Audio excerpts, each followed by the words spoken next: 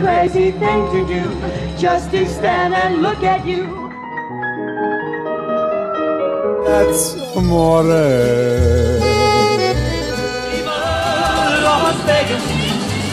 Viva Las Vegas!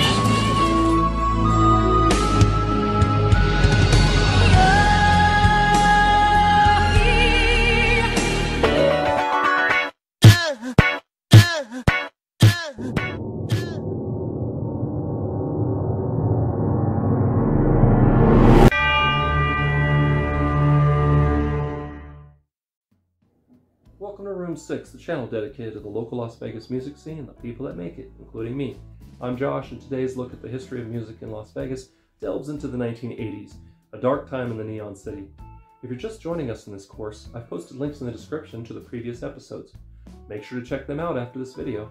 Now then, if everyone is ready to begin, let's get ready for things to get gnarly, dudes!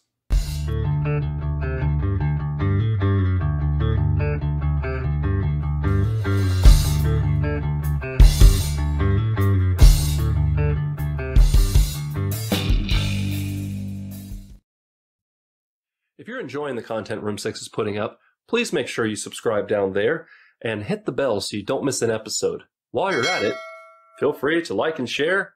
And uh, yeah, let's go. 1980 started out with a devastating fire at the MGM Grand Hotel, killing 87 people and injuring 700 more. Combined with the nationwide recession and legalization of gambling in Atlantic City, the allure of traveling to Las Vegas was quickly diminishing. In order for venues to stay open, drastic changes were made. Thousands of musicians, mostly local acts that made a living playing in the lounges and bars, were quickly replaced with synthesizers and taped music, making Las Vegas one of the places where careers went to die.